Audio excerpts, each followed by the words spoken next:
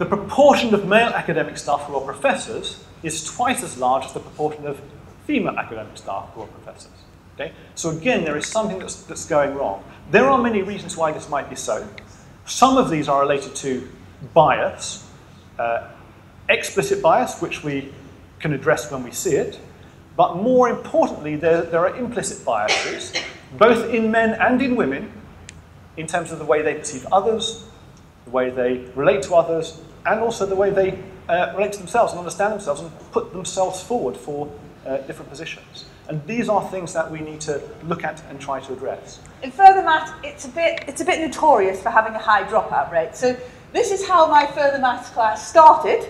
Um, three girls out of 18, and um, we finished with one girl out of six. This was a really good environment for me because it was the first time I found people who were genuinely also interested in the subject and also really loved um, what they were doing, and we could talk about science and have fun at, at lunchtime doing that. Um, but as you will notice, it was heavily male dominated by that point. So I um, did this work experience placement with some engineers, and I discovered that engineering is the answer. Engineering is a bit like design and technology, where you solve problems, you use your maths and physics skills, and, and you make stuff. And you know, what a wonderful opportunity to make that rather tall building that you can see behind you. So we think about um, engineering as being quite technical and you know numbers and all of that. I've often been to meetings where I go into a room and there's 20 people in the room. I'm the only female there. I'm the only ethnic minority person there. I'm also the youngest person there by 10 or 15 years. But what I found is that actually, as a minority person, you can bring a very different perspective to things. So I heard this really interesting story from someone recently, and she was telling me that there were these, this fantastic team of engineers in the US, and they were all male and they were all white, and they all could finish each other's sentences because they probably all went to the same university, and they were just doing these drawings of fighter engines and planes, and then they got them produced, and then they put them on the runway, and they would all fail in the testing, they would explode. And they thought, you know, what, what's going on here?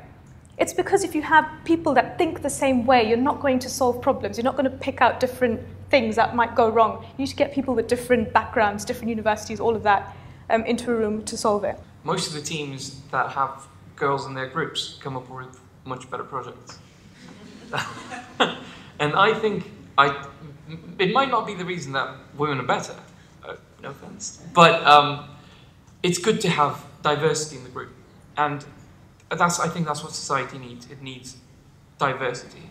You'll see these extraordinary ups and downs of how women get into science, get to a certain point, and then either stall or leave there. Now, this is an extraordinary waste of talent. I'm wondering what the temptation is, because I assume Athena Swan want to see changes in these numbers. Ideally, the board at Athena Swan, they want to see 50-50, I guess, or something near that. Or that's my assumption. So that's my first question. Is that what they want to see? And my second question, sorry, just leading on to that, if that's what they want to see, and we put all these initiatives in place, we put staff through gender bias training, etc., and those numbers don't change, what then will be the temptation to do positive discrimination? What's, what's stopping people from doing that? And as I say, sorry, it was a bit provocative, but just I think something important to talk about. There was no intention of saying the ambition is to get every department to 50 50. It was to say, you know, like myself, 30 years ago when I was an undergraduate at Harvard, I was told, don't worry, by the time you're grown up, just a pipeline problem, it'll all be all right. 30 years on, it's still not all right. Two or three years ago, Dame Sally Davies, the uh, chief medical officer, who runs the National Institute of Health Research, which gives over a billion pounds of research funding to um, hospital trusts to work with universities on research, announced after she had just handed out literally a billion pounds worth of five years of research money to all, every panel in front of her was all male, every single panel. Mind you, she was also chairing an all, otherwise all male panel of assessors. She wrote a letter saying, that's fine, but no one will get reaccredited. King's gets over 200 million pounds of funding through this. No one will get reaccredited unless you all get Athena Swan Silver. talk about sitting up and taking notice there. And the last thing that I want to say is to follow up on what Evelyn said. Um, Evelyn talked about what Dame Sally Davies had done to cause people to really engage with the, with the Athena Swan agenda. It's crucial and it's really important that we do that. It's important for King's that we do that. It's important for natural and mathematical sciences that we do that. But that's not the reason that we should do it.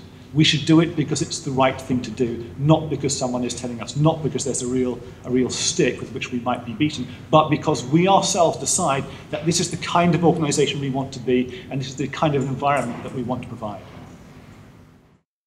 These events are important because clearly we do have a problem with diversity in science. We're not attracting enough people into science. People see it as irrelevant, outdated, not very interesting to them. And unfortunately, you know, those things are not really true. Even though I had a little bit confidence about um, about science and me being studying science, now I have even more.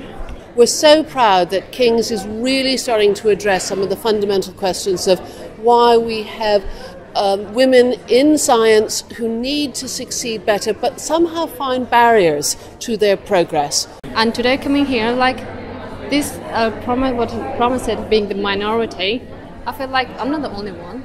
There are a lot of other people. It was very, very interesting, and uh, this type of initiative. Uh, really needed. Because we're trying to do two things. We're trying to make real change within natural and mathematical sciences, but we're also, importantly, trying to change culture and attitudes. And that's about raising visibility of the problems and making sure people engage with the agenda. And I think we've gone a small way towards that today. So, by encouraging more people to do into postgraduate school and to take academic position, we will actually also contribute to having more women in the undergraduate degrees and pursuing STEM professions as well. Uh, I think this event is important because it focuses on problems that exist in the real world, and it's it's problems that we really want to solve and things that we want to see changed, and that's really what King's is about.